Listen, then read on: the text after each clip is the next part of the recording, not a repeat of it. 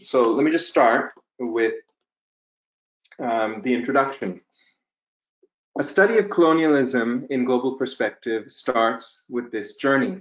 Take tram number 44 from Leopold II Square in Brussels to the end of the line, to the leafy suburb of Tervuren through the lush Forêt de Soignes. The final stop leads to the Royal Museum for Central Africa. Belgian King Leopold II, uh, mastermind of the colonization of Central Africa and its 200 million inhabitants, built this ostentatious palace that today houses the museum. The Congo Free State has nothing to hide and no secrets, he said. Uh, and this is what he once proclaimed, continuing, it is not beholden to anyone except its founder. And of course, this founder was himself. He was the sole owner of that colonial enterprise. Um, today, the museum possesses 120,000 ethnographic objects, the world's largest hoard of Africana. This includes an impressive collection of African masks, one of the great ritual art forms uh, of peoples in the Niger and Congo basins. African dancers don these masks in ceremony to expose and witness hidden truths and to make ancestral spirits visible. Now, these masks and the truths they are meant to reveal lie appropriated and buried in the belly of the Tervuren Museum, but also hidden away, as if in a large tomb of secrets, is the history of Belgian colonial war and atrocity and its ongoing social legacies in Africa and Europe. And I go on, I'll stop there, but I'll go, I, the paragraph goes on uh, to point out that there are, uh, there's a special class of uh, artifacts that are held, or used to be held at least, uh, at the Tervuren Museum, uh, which are actually human remains, um, because during uh, um, Belgian colonization of the Congo, there was a practice of um, harvesting the um, the bodies of the colonized once they had died or were murdered in a variety of uh, forms of colonial violence, uh, and and uh, uh transferring them to Belgium, where they were then incorporated into the colonial science of Belgium in the 19th century. And so uh, some of these objects are in fact human objects, quote unquote. Uh, and this is a common story that we see across imperial um, centers of Europe and the United States and Latin America in terms of the collection of human remains. And that becomes a meditation for me about how the Imperial Museum, um, where I begin the story, is certainly a place of display and pageantry, uh, but it is also a repository of secrets um, and a, uh, a hoard, if you like, of um, misappropriated and malappropriated wealth, including the wealth of human beings themselves, their ancestries, uh, their stories um, their family ties. Uh, and the part of the work of this book, part of my work in general, is to ask the question um, what happens when we witness uh, this history uh, and what does it do to the tendency that I think many of our societies still have today um, to disavow, disown, deny, uh, overlook, erase um, the ways that these histories uh, still inform our present. So, you know, that's the beginning of the book. By the time that I get in the introduction to talking about um, what I'm up to, um, how I'm structuring the book, um, I try to show, and I, I, this is the work that I, I do throughout colonialism in global perspective, which is to make something that is quite complicated um, with many different sides and, and, and interacting parts to try to make it straightforward and simple. Um, that has been my overall goal, um, and I, I, think it is a, an important pursuit, how to um, speak as simply as possible about matters that are in fact um, both extremely salient to our moment, but also very complex. Uh, and the way that I do that is to break colonialism in global perspective into four big parts, what I describe as the, the kind of the four engines of how this phenomenon, colonialism, which I see as a present, uh, a real and present danger in our world, just as much as it has been for the past 600 years and more, um, uh, I, I, see that as being uh, having these four component parts. One being um, the modern form of capitalist war, and I have a discussion in the book about what I mean by capitalist war, how it relates to racial capitalism, um, where this capitalist, this form of capitalist war has come from. Uh, that's one aspect. Another aspect is what I call racializing rule, uh, a particular form of um, state operation that uses race uh, and, and, racialization of, of, comparatively differently for, for, different kinds of groups um, in order to put groups of people in their place to manage them, uh, to often to sequester them, to uh, remove them often, um, even to eradicate them. I call this racialized rule, and it's a it's a it's a feature of how uh, colonialism has worked over the past hundreds of years. Then uh, uh, the third dimension I speak of is what I call moral deception. Um, colonialism is not just about the material um, uh, brick and mortar forms, if you like, of uh, conquest and settlement, but it is also, of course, about what uh, takes place in the mind, how colonial power seeks to rule people's minds, uh, not just the colonizers, but also uh, the colonized, perhaps most nefariously. And, and deception is one of the most important forms of power that colonialisms have used over time.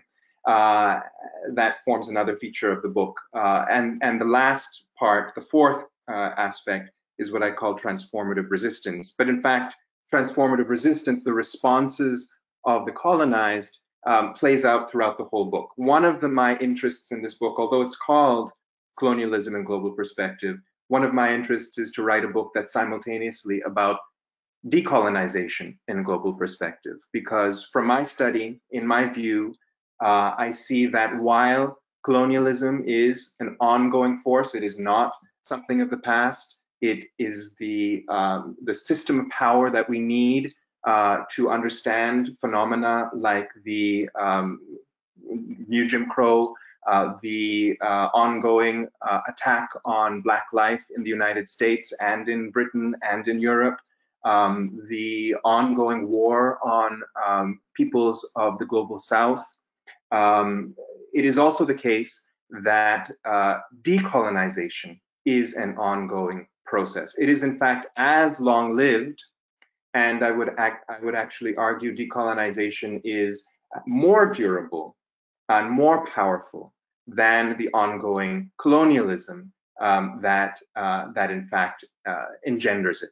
Um, so, I, so as much as the book focuses on colonial processes and colonial power, it uh, focuses also on uh, the actions, the activities, the imagination, um, the decolonizing uh, performances um, and practices of the colonized. That was a very important part of um, how I how I worked through how to write this uh, book. So, you know, now that I've given you a, a, little taste of what I'm up to uh, in colonialism in global perspective, I'm going to shift gears a bit to um, show you a few slides um, because something I'm interested in to, in doing in the book is to ask questions around what the archive is. What is the archive to write about colonialism?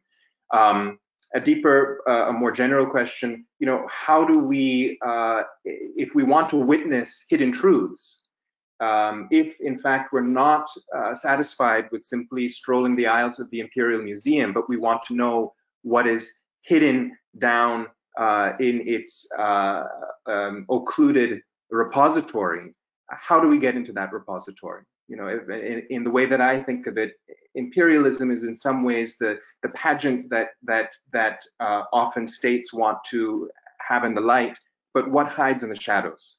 Um, and so as I write, um, you'll see that each chapter um, has, a, has a kind of an exploration of how do we witness what's taking place uh, in the shadows, so to speak. Um, and let me show you concretely what I mean by that um, through these slides. So let me get my slides up um, and start sharing.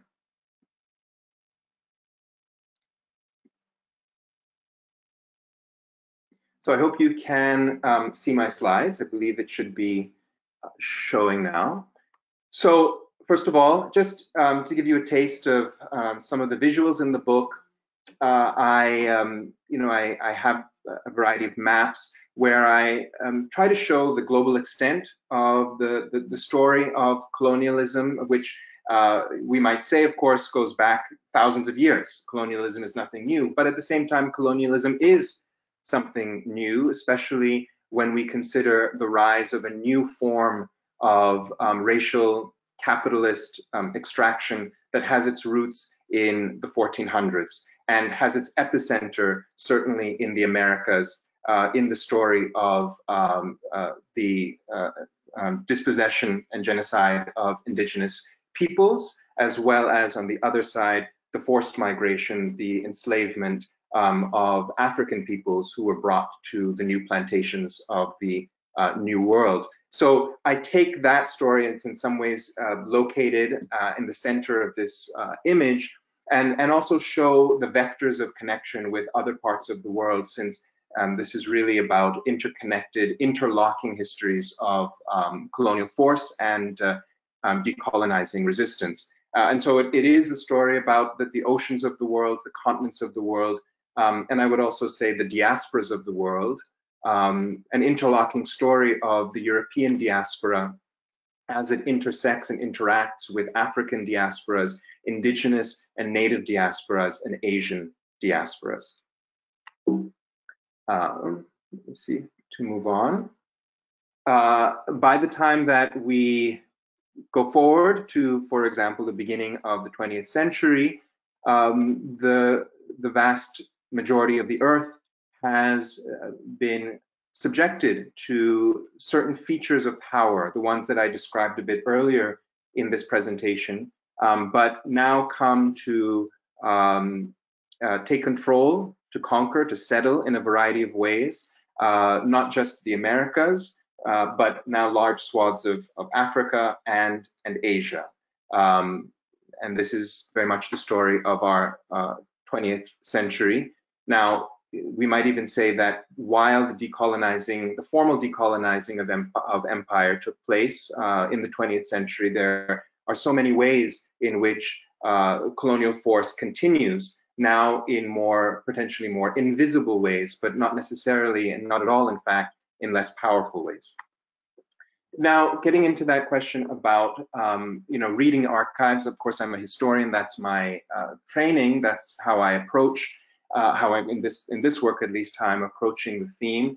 Uh, I'm interested in, if you like, uh, thinking critically about the, the methods that I've been trained in, um, opening up the, the parameters of what it means to, to study as a historian and to find new kinds of texts. So here's a text that I read in the book. It is a chasuble or a uh, you know religious garb of uh, an Augustinian um, friar uh, who would have been active in the Spanish Philippines sometime in the 1700s.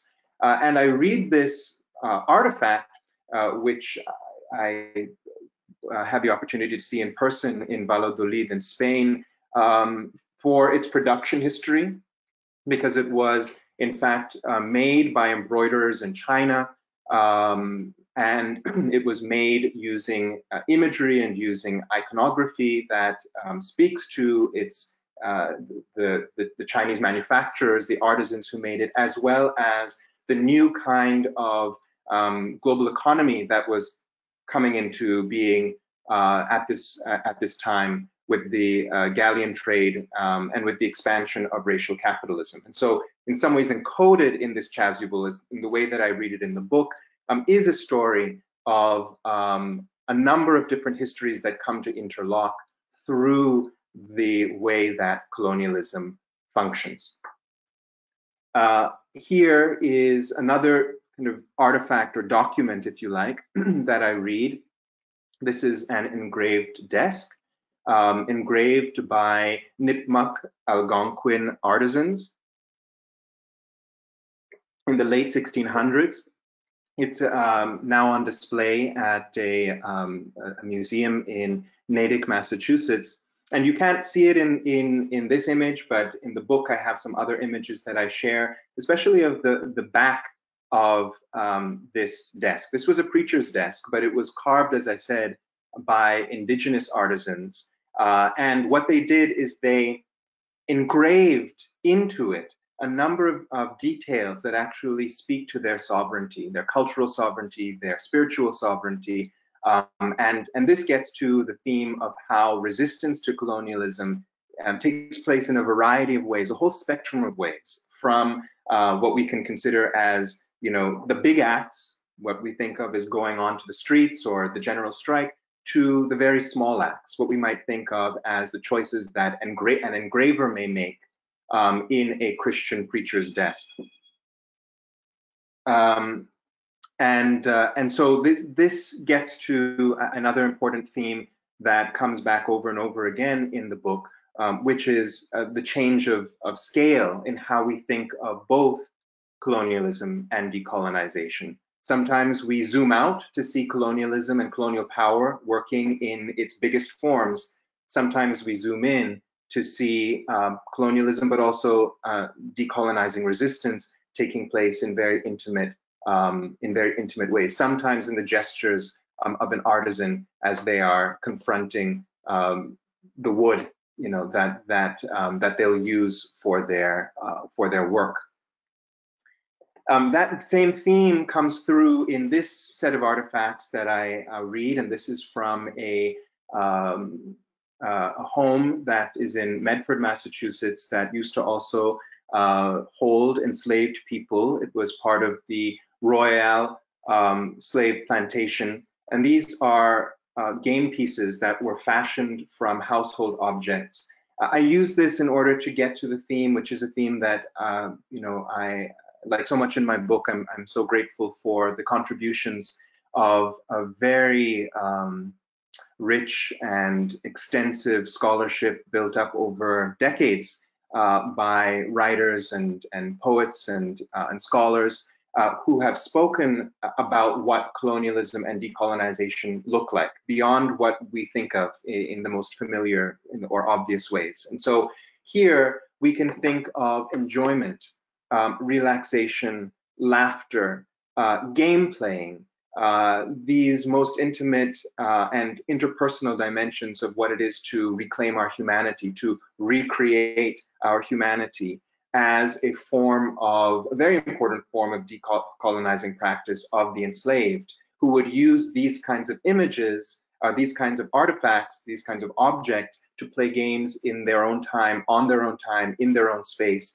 even as they lived amidst uh, the plantation complex. So that gives us, for example, giving you a sense again of, of, of a way that the book is trying to, um, you know, open up different ways of reading objects, but also through that helping us, um, based on traditions of scholarship, to think about what um, resistance looks like in its broader spectrum. And here, if I can conclude with one last image, um, this is um, an image, uh, a drawing uh, done by uh, uh, a Chinese migrant to the Caribbean. Um, and you can see, if we had more time to look at this together, that there encoded in this is a whole imagination, both around how differences are being crossed amongst the colonized between, for example, the Chinese migrants and the Indian indentured migrants who had been brought over after the end of formal end of slavery to replace the enslaved. But also hidden in here is a story, a very beautiful story about the use of memory, um, in which uh, I can't point to it with my finger, but if you read the book or if you can see it while I'm speaking, there's a little vignette about one of the uh, migrants who is thinking, and there's a little, there's a thought bubble that opens up that links him back to the family um, that he left behind. And so this again shows us the power of imagination, um, the power of the mind that the colonized have always known to use because colonialism, as I said, is, is an attack not just on our material resources, but on consciousness. And so decolonization is a reclaiming of consciousness. And I find this a very beautiful depiction of that. So those are some of the, uh, the images uh, and the artifacts that I, I, use in the book. Um, and uh, I read them uh, not just as examples, but as what I think of as, as puzzles, things that we uh, can uh, kind of explore together um, to ask important questions about how we know things about colonialism, how, how we know things about uh, how the colonized left traces for us, and how we today are in a place, in a, in a position uh, to ethnic, ethically witness those traces, and how that changes our own consciousness about uh, not just our present, but also our future. And so in that spirit, I'd like to um, read just now maybe a paragraph from the, from the conclusion of the book, and I'll try to save a minute or two at the very end to speak about something I, I cannot not speak about because it's so important to me, which is um, the the social or the the, the friendships uh, that are behind this book. Whenever I think of the work of having written Colonialism in Global Perspective, I think of people um, I think of um, collectives that I participated in that have helped me get here. And I, I, I, I want to kind of speak a little bit about that um, as the context for this book um, at the very end. But let me just read a, a paragraph now. Um, so at the end of the book, I write, um, W.E. Du Bois in Black Reconstruction of 1935 observed that when demands for progressive social change and wealth uh, redistribution are articulated, elites mobilize ideas about racial difference, cultural purity, and national belonging in order to break apart progressive blocs. Ideas about cultural purity, national security, and the fear of the quote unquote mobile poor or the quote unquote foreigners are part of a tried and trusted bag of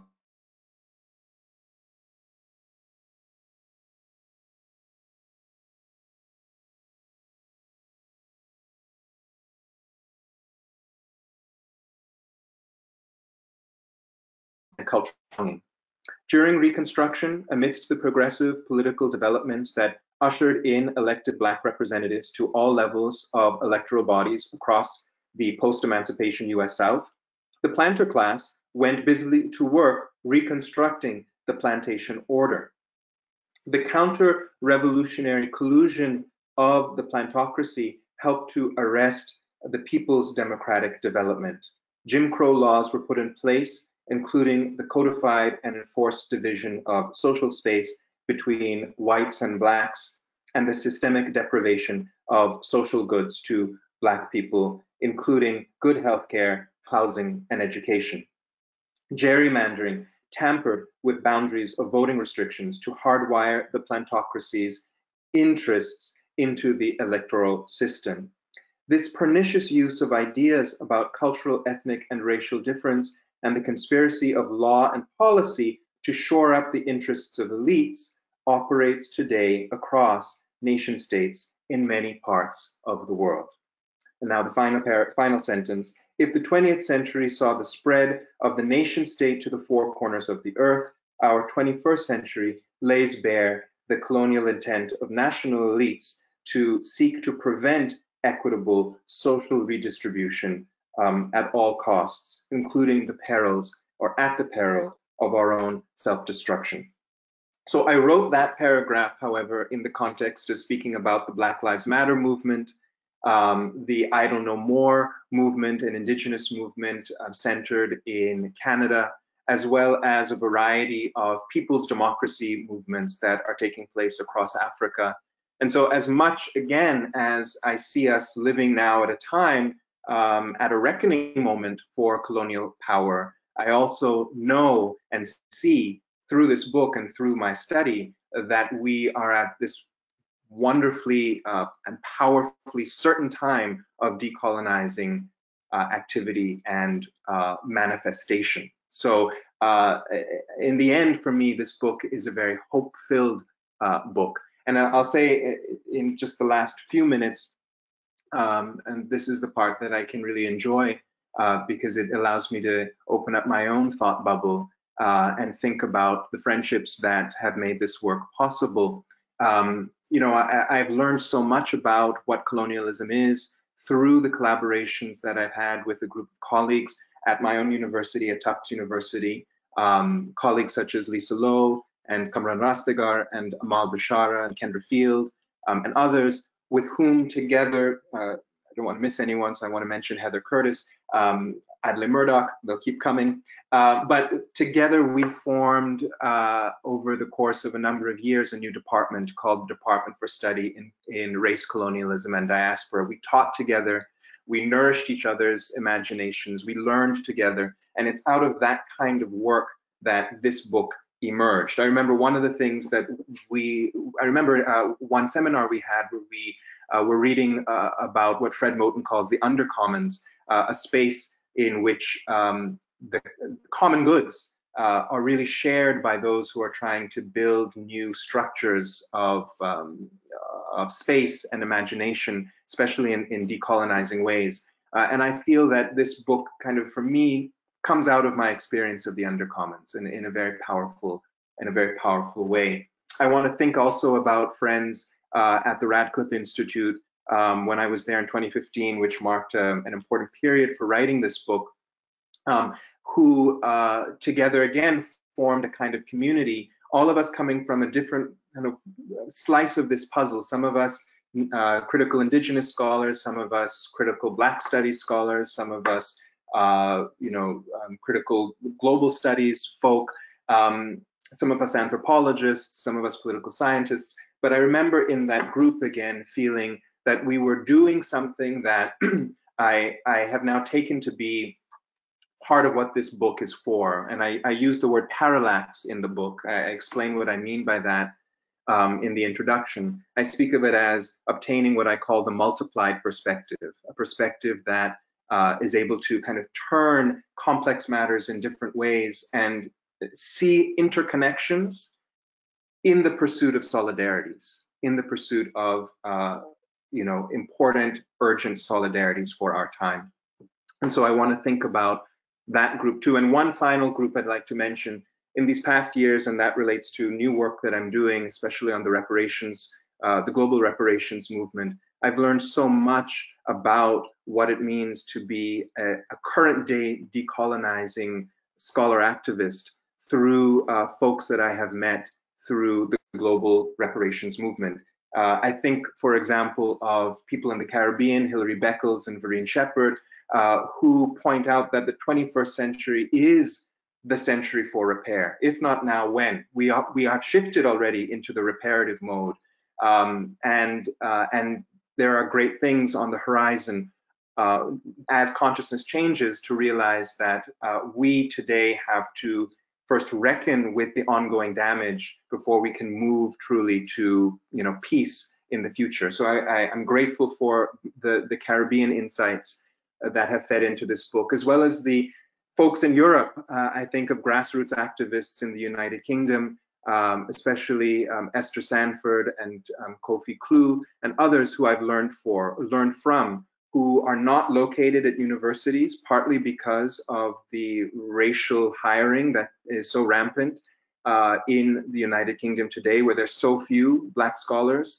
Um, but these scholars, who are also activist scholars, are nonetheless on the streets, organizing people, uh, trying to change consciousness and changing consciousness through their work.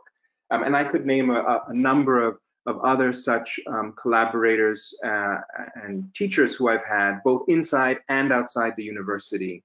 And so for me, all of that kind of feeds into why this is a special book for me, Colonialism in Global Perspective. Um, and I hope that you'll um, read it. I hope you'll check it out. If there are parts of it that you enjoy, I hope you'll share it with others. Um, because I think uh, one thing I believe for, for certain is that uh, the decolonization that we need is the decolonization of our spirits, of our minds. Um, and we all have a part to play in that. So I'll end with that. And uh, I'm ready for the questions. Kris, that was fantastic. Thank you. Thank you so much for a really fascinating talk. Um, I have forwarded the questions onto you. Um, do you see them in the in the questions box? I do. Um, I see part of them. In order to get the whole question, do I click on it or maybe? I only see a kind of truncated section of it. Uh, there should be um, a box in the top right hand corner which should open open things up a bit more. Um, okay. A box an arrow. Um, I'm I'm having trouble seeing them. So why don't we switch to our backup then, Lauren? You want to read them to me? Of course. Yep. No problem. Um, okay. So. Uh, Question one Can you speak more about your perspective on the relationship between colonialism and capitalism? Sure, I'll, I'll speak briefly on this um, because I don't want to get too deep into, uh, you know, um, a lot of detail right now, but I, I, I, I want to focus maybe on some, some big concepts. One of them is when we speak of racial capitalism, for me, what is important in this concept is the observation that we're speaking about a form of relationship. Um, it is a dysfunctional form of relationship, but a relationship nonetheless. Um, racial capitalism we can think of, and I'm drawing here on, on others' important work, um, for example, Ruthie um, uh, um, from, uh, um, I'm blanking again on, on, on a name, Gilmore, I'm sorry, Ruthie Gilmore, um, who works on the prison industrial complex. But what uh, folks like Ruth Gilmore uh, show us is that capitalism is based on a relationship on which um, the uh, making certain groups vulnerable or making certain groups um, uh, more insecure uh, and even uh, making groups more vulnerable to death itself uh, is used as a way of rendering other groups more secure, of garnering for other groups more accumulation, of making it more available for other groups to attain wealth. So wealth production, this is the key point, wealth production under racial capitalism does not take place in a vacuum.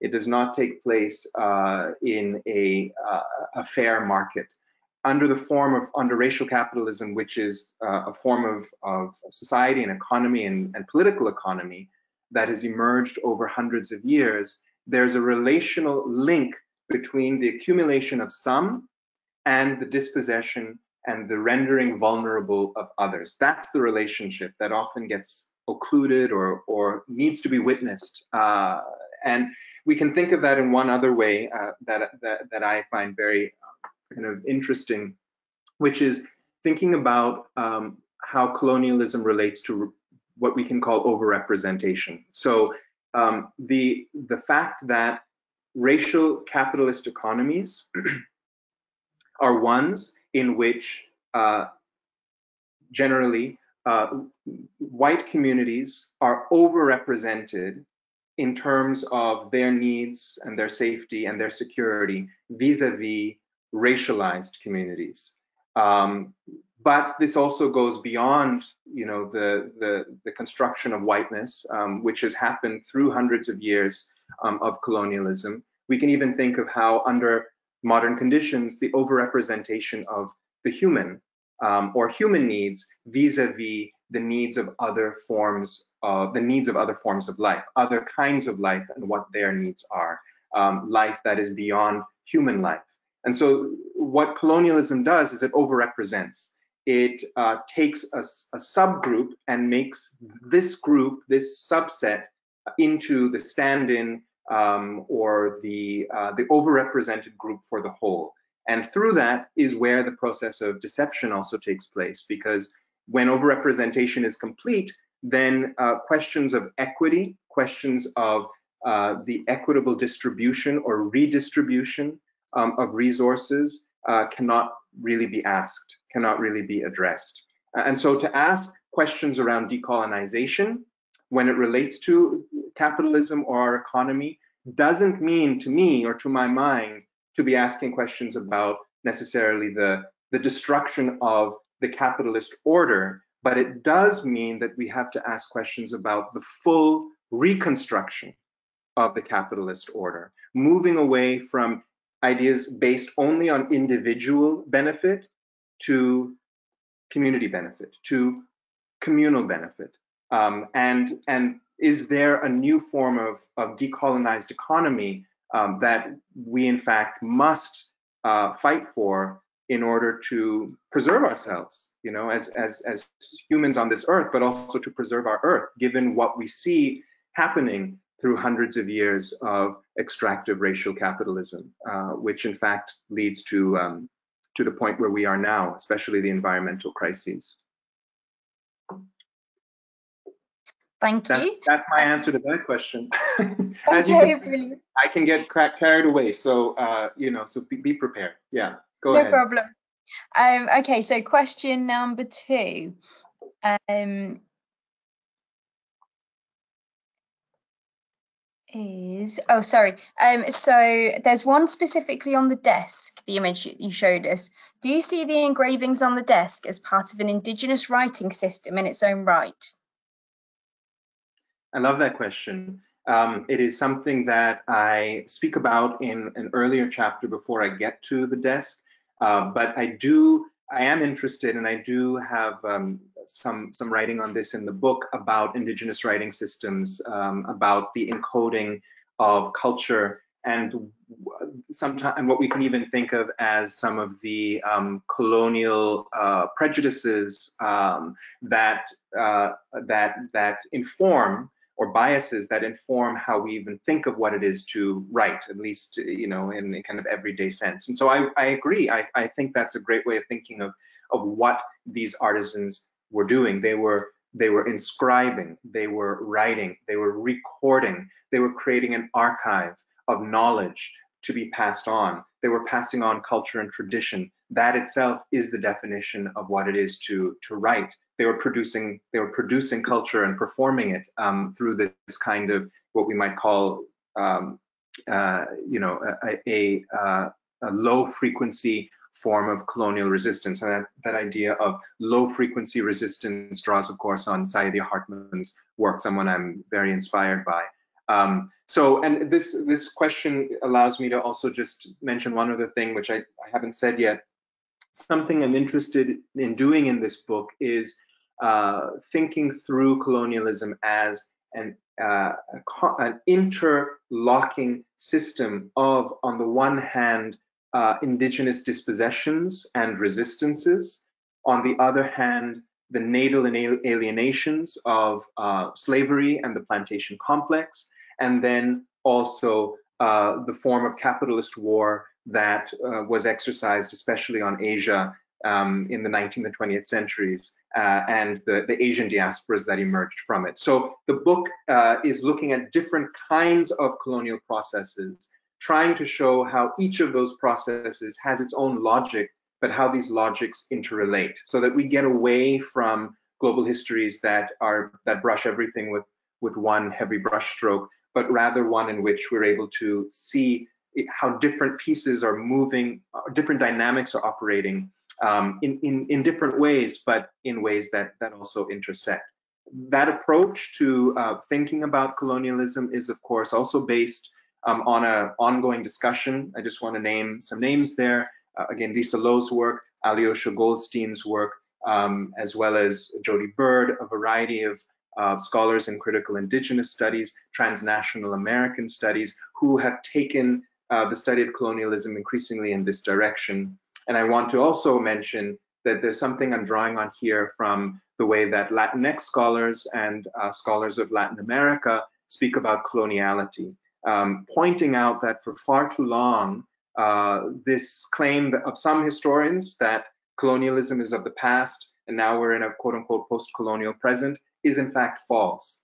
Uh, certain state forms of colonialism may have ended, but the processes of colonialism continue. And that's what certain scholars call coloniality. I just call it colonialism, but I'm drawing on those insights as well um, in this book. Thank you. Uh, so we have another question, which is, are you hopeful for decolonisation in the 21st century with the rise of right-wing power we have seen in the recent years? Speaking from Ireland, a country which is still separated by colonisation, I'm not sure how it is possible to achieve this in the near future. What do people need to do to promote decolonisation? Thank you so much uh, for that question.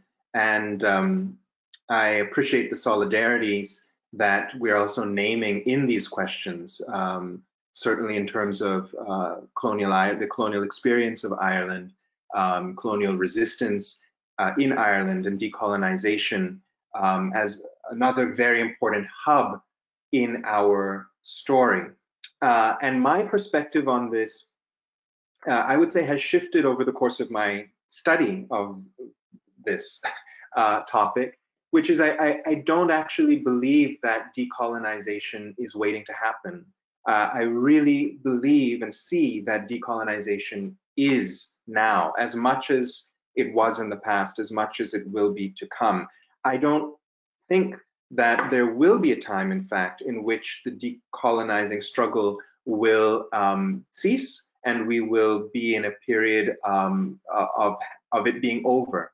I think that we will potentially, for a very long time, be in uh, the process of the social movement itself, of the practice itself of, of, of freeing ourselves, freeing our minds, freeing our communities, um, and uh, and that these that contradiction between the ongoing presence of colonial power, um, which has its own kind of dimension to it, but also the ongoing process of of decolonization, holding those pieces together and and perhaps you know inverting inverting the story to say that what happens if we ask the question how much longer will colonialism or colonial forces keep fighting against the, the resurgence of decolonizing spirit, force, and power. For how much longer can colonialism itself hold out? Is, is an, as another way of kind of inversing, inverting that question. Because frankly, when we look at it, um, when we look at uh, the the ways, and I speak about some of these examples in the book, um, beginning in the 1400s, uh, indigenous people, through their performances, um, through their the warfare that they were forced to carry out um, through their cultural practices and their writing, they were decolonizing. Um, in African descended peoples, even through the many failed emancipations and the many continuations of slave-like conditions, uh, continue to create opportunity, space for uh, nourishment, for learning, for art, for uh, the elevation of uh, the spirit, for Black excellence and exuberance. And no wonder why today Black art, African art, is one of the most um, evocative uh, wells, founts for um, for the imagination, not just for African descended people, but for our world. And I think the, the same holds for indigenous folk. So there are a variety of ways in which the story is quite complicated and in which um, decolonization is not waiting to happen. It has happened. Uh, it will continue to happen. Um, and uh, I, I, take great um, I take great hope in that, great trust in that. And I, I'm thinking as I'm speaking of um, the work that's even taking place just right now. You know, this these past weeks, just to name uh, some things that are happening in the Caribbean in terms of the reparations movement, here in the United States and the reparations movement, uh, things that are taking place in the in the UK around the environmental movement, the XR movement, um, the Black British movement.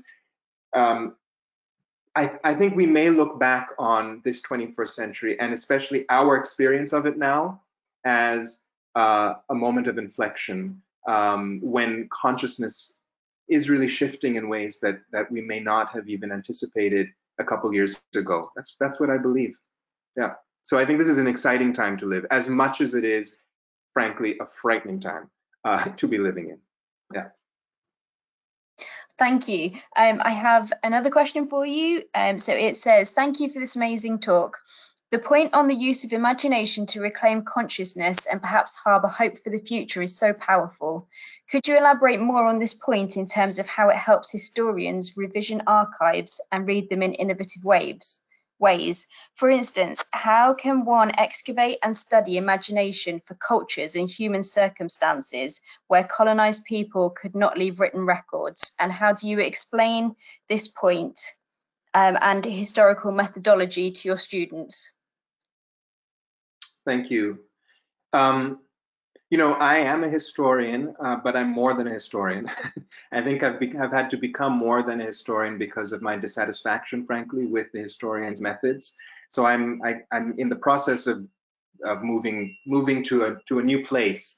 Um, grateful for where I've been and for those methodologies, but knowing that they have their limits. Um, one of the great limits of uh, the historian's method is a conception of time in which there is something called time past, time present, and time future. And apparently we live in time present and it's it's it's after time past. That's just, you know, you can't write history in some ways without uh, taking that as a starting point. But there are so many other ways of knowing that are in the university system, but beyond the university, that we, that people, any, you know, wise people, people with insight, know in which time past is not past and time present is not to come. You know that that we are we are in communication in relation with different times um, in ways that are far more complicated than what the historian is trained to think or how the historian is trained to read the archive. So that's just a, a beginning to say that um, there there is the there's a question that you're asking that i'm asking which i think for historians is a potentially revolutionary question, and I hope it will revolutionize what history can be as we continue to decolonize this method. At the same time, there's something that um, scholars and, and scholar activists and wise people who are outside of this world of the historian, the, the, the trained historian, you know, already know and practice. I think of um, all of the performance studies scholars who think of the body itself as a form of the archive, um, who think of gesture as archiving the past. I think of you know the media scholars, the media uh, activists who uh, know uh, that what is um, uh, what uh, what is stored uh, is far more than what is, of course, written in you know a, a textual a textual archive. Of course, anthropologists have perspectives on this. And those anthropologists who are moving beyond the study even of the human community to, to looking at the relationships between human beings and other beings. So we're we're at a at a wonderful moment, a revolutionary moment, I think, um, in our small place in the university, in which we are uh, disrupting the very methods that have come out of colonialism itself. which is so important because we need to free our minds. Um, and I see that work happening. Um, I wrote an article with a colleague called uh, uh, Global Humanities After Man, which if you just Google uh, Global Comparative Humanities After Man, and if you just Google that essay, you know, it'll just give some more of the thinking that that we had together about where we are and um, questions about where we're going, but but questions about curiosity, um, because as soon as we begin to challenge what we think of as the linear process of time, or we think of as the centrality of the the human in the story, and who is that human anyways, uh, the sooner that we find new possibilities um, to narrate, uh, to know, uh, and through that narration to develop a different consciousness about where we are, who we are. Thank you. Uh, so I have a next question, um, which says, I was wondering about your observations on the interdependency and interactions in the processes of colonization and decolonization between socio-political and economic spheres of societies. Um, socio-political and what was the other word? Uh, socio-political and economic spheres of societies.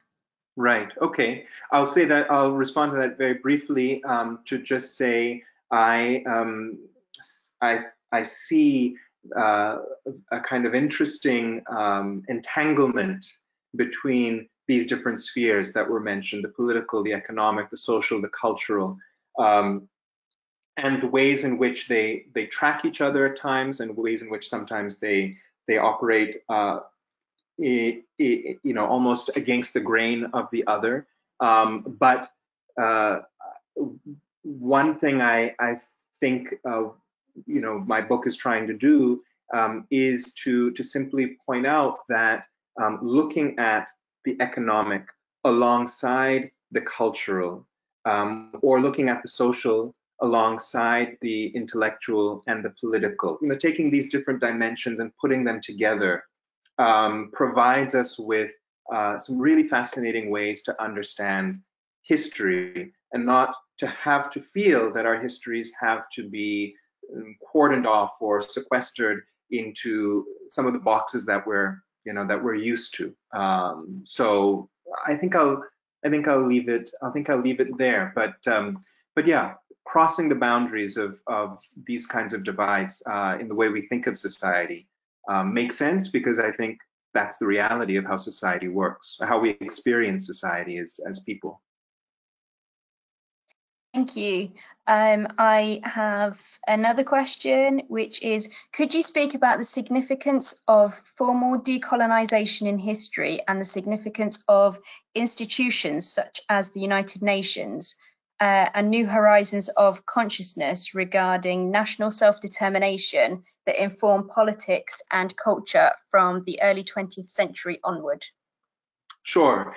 Um, great question. And uh, I have a, a, chapter in the book where I um, do speak about, uh, especially when I'm speaking about debt. I have a, a chapter on on debt relations um, and finance, um, and especially in the 20th, 20th century. Uh, and that uh, chapter ends up um, speaking about the decolonizing moment and what happens after um, the rise of independent nation states, how debt relations, in fact, continue to track the relations of the empires that preceded as they do today in very important ways the debt load between the global north and the global south getting to the theme of the invisible colonialisms that um, still uh, define uh, the structures of our world so I, I address that theme uh, but then also look at forms of uh, again of resistance of, of decolonizing action um, which in this case uh, does relate to using institutions, international institutions like the UN, to do the work against that system, uh, meaning the, the system ruled by the global north. It's a theme that comes up over and over in the book. Some forms of resistance take place, of decolonization take place outside the system. Some forms of decolonization take place from within the system. Uh, some, you know, take place around the system. And I think when we look at the histories that have emerged since the, uh, sorry, that have emerged since the 1950s and the 1960s, we see exactly that complexity, you know, that the nation states, post-colonial nation states themselves are often burdened by their own uh, constitutions, let alone by the corruption that uh, has followed because of the legacies of empire. Um, they are burdened with colonial force, colonial process, colonial mindsets, colonial elites.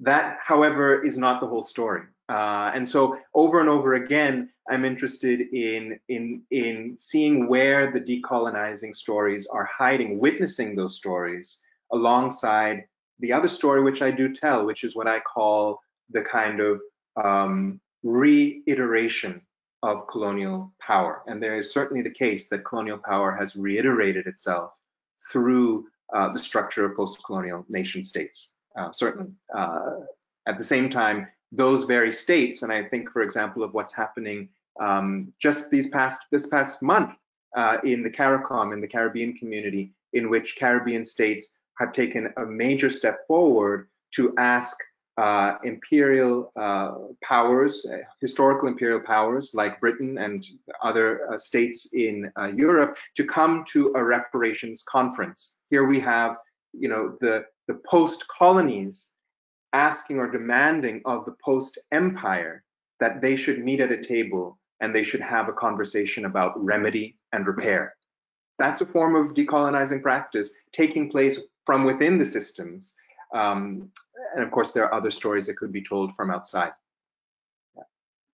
So I think we have time for one last question, um, and that is, uh, I was wondering in terms of this colonial capitalism, is there any form of colonialism that does not involve, involve exploitation, or is it or is colonialism inherently destructive to the colonized people?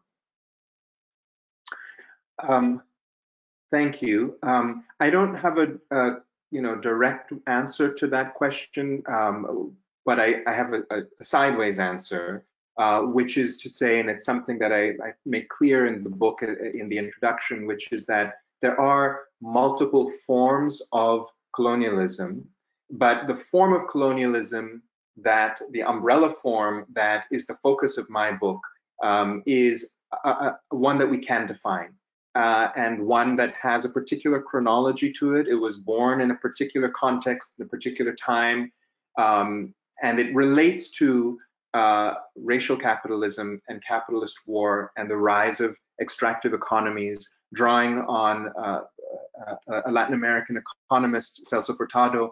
Um, I speak of it as uh, a form of, of, of economy, of capitalist economy, in which the principle of profit maximization uh, seeks to penetrate deeper and deeper and deeper into the realm of life. That's a particular formulation. It's helpful, you know, to think of, I think, in those terms.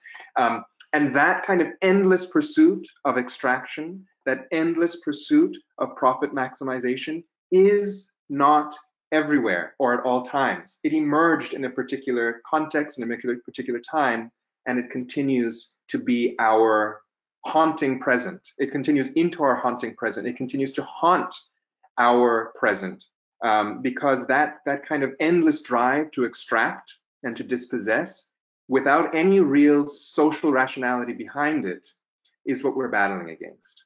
That, in fact, in some ways, is like the the, the inner demon of coloni- of colonialism, um, and it is also the inner demon that decolonizing practices uh, are, are contending with and are seeking to rid us of. Because after all, isn't shouldn't our goal be peace, uh, sustainability, uh, our own preservation and the preservation of the life around us? Uh, how do we make that you know the goal for our societies as opposed to where we currently are and which is you know the the the, the, the this kind of um, celebration of extraction and accumulation for its own sake that's antisocial. What we need is a kind of social mindset.